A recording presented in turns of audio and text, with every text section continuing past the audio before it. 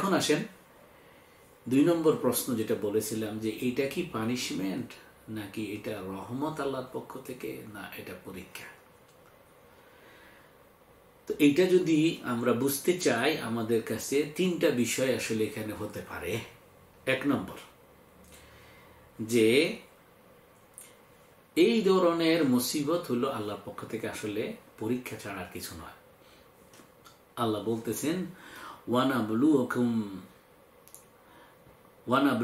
বিশাররি ওয়াল খাইরি ফিতনা ওয়া ইলাইনা তুরজাউন আল্লাহ বলতেছেন যে, আমরা পরীক্ষা করি খারাপ এবং ভালো দিয়ে, মন্দ এবং ভালো দিয়ে আমরা পরীক্ষা করি এবং এগুলা সবগুলোই হলো পরীক্ষা, ফিতনা, টেস্ট, ট্রায়াল।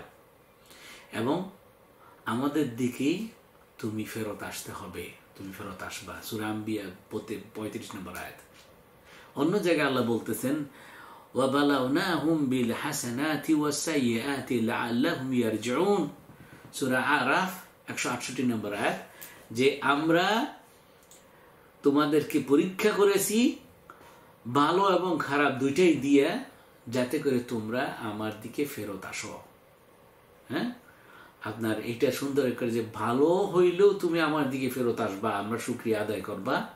আবার খারাপ হইলেও কি করবা? সবর করবা এবং আমার দিকে ইস্তেকফার করবা, তওবা করবা, আমার দিকে ফেরত আসবা। আল্লাহ বলতেছে, তার মানে হচ্ছে যে এগুলো আমাদের পরীক্ষা এবং এই পরীক্ষাগুলো আসলে আল্লাহর দিকে আমরা ফেরত যাওয়ার জন্য আল্লাহ একটা ব্যবস্থা করে দেওয়া। দুই নম্বর হচ্ছে যে এইটা থেকে আসতেছে যে দেখেন ভালো এবং খারাপ যাই করুক, হোক না কেন আমি ভালো অবস্থায় থাকি, সুখী অবস্থায় থাকি, অথবা কষ্টের অবস্থায়, মুসিবতের অবস্থায় থাকি, দুইটাই আমি যদি মোমেন হই, আমার জন্য দুইটাই ভালো। কেননা সোহাইব রাদিল্লানো রিপোর্ট করছেন, বর্ণনা করছেন রসুসাল্লাম বলেছেন যে আজাবা লি আমরিল মুমিনিনা, ইন্না আমরাহু কুল্লাহু খাইর। وليس ذلك لأحد إلا إلا للمؤمنين إن أصابته سراء شكر فكان خير الله وإن أصابته ضراء صبر فكان خير الله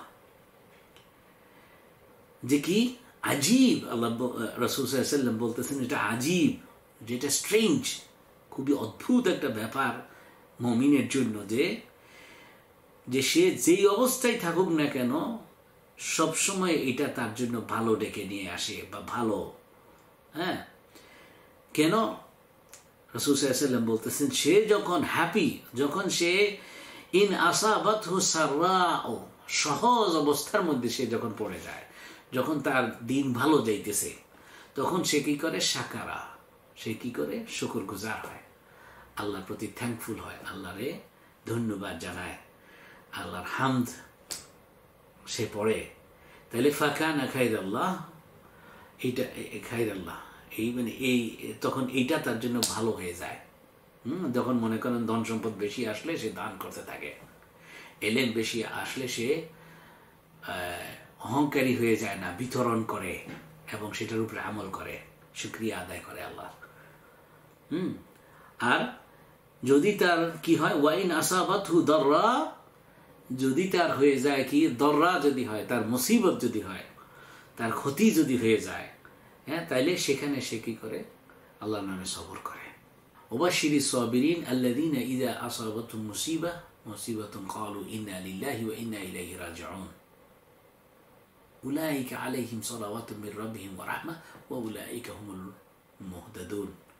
আল্লাহ বলতেছে, যখন তাদের উপরে কোনো মুসিবত এসে যায়, তখন তারা সবর করে আর সবরকারীর নমুনা হচ্ছে তারা বলে ইলাইহি যে যা কিছু সব আল্লাহর পক্ষ থেকে আসে এবং আল্লাহর কাছে ফেরত যায়। হ্যাঁ? এবং এইটা যখন করে, তখন আল্লাহ বলতেছেন যে, উলাইকা আলাইহিম সালাওয়াতুম মির রাহমা তখন আল্লাহর পক্ষ থেকে তাদের প্রশংসা আসে। আল্লাহ তাদেরকে নিয়ে খুব খুশি হয়ে যে ফেরেস্তাদের সাথে তার সাথে মানে তাদের ব্যাপারে আলাপ করতে থাকে এবং তাদের প্রতি রহমত বর্ষণ হইতে থাকে এবং তারাই হচ্ছে মহতাদুন। তারাই হচ্ছে কি হেদায়ত প্রাপ্ত সত্যিকারের হেদায়ত প্রাপ্ত তো সুতরাং তারা সবর করে। একটা হলো যে ভালো থাকলে সে শুকুর করে, আর তার মুসিবত হইলে সে সবর করে। দুইটাই তার জন্য কি কি নিয়ে আসে? খায়ের নিয়ে আসে, উত্তম নিয়ে আসে। হ্যাঁ? অন্য জায়গায় আনাস বিন মালিক রাদেলানু থেকে বর্ণিত রসুসাল্লাম বলছেন একই ধরনের হাদিসকে একটু ডিফারেন্ট ভাবে আজিব তুলিল মুমিনিন আজিব তুলিল মুমিন إن الله لا يقضي للمؤمن قضاء إلا كان خيرا له যে আমি রাসুল সাল্লাম বলতেছেন যে এটা আমি খুব আশ্চর্য হয়ে যাই বিশ্বাসীদের জন্য যে নিশ্চয় নিশ্চয়ই আল্লাহ কোনো জিনিস একজন মমিনের জন্য নির্ধারণ করেন না, যেটা তার জন্য ভালো নয়। তার মানে শুধু ভালো, আপনার মুসিবত দিল আপনার ভালোর জন্য, আর আপনাকে সুসংবাদ ভালো কিছু দিল এটা আপনার ভালোর জন্য। সোহান আল্লাহামদি এটা মুসনাদে আহমেদে আসছে। আবু হরানু আরও ছোট্ট হাদিস, কিন্তু আরও মজার হাদিস, সেটা কি? মাই ইউরি দিল্লাহ বিহি খাইরান ইউসিব মিনহু যে কেউ কারও ব্যাপারে যদি আল্লাহ ভালো চায়, আল্লাহ তাদের উপরে পরীক্ষা নাজিল করতে থাকে। আল্লাহ সুতরাং আপনার উপরে যদি কোনো মুসিবত আসে, এই যে করোনা ভাইরাস, এটা টেনশন করার কিছু নাই। এটা এটা আমাদের মমিনদের জন্য, আমি যদি, আমরা যদি মমিন হই, মমিনদের জন্য আল্লাহ আমাদেরকে ভালোবেসে আমাদের ভালোর জন্য এটা দিয়েছে। আমরা যাতে করে আল্লাহর দিকে ফেরত যাই। মোসাদ ইবনে সাঈদ রাদিয়াল্লাহু বর্ণনা করতেছেন যে ফামা ইয়াবরাহুল বালাউ বিল আবদি হাত্তা ইয়াতরুকাহু ইয়ামশি আলাল আরদ মা আলাইহি খাতিয়া অ্যামেজিং অ্যামেজিং সুবহানাল্লাহ যে আল্লাহর বান্দা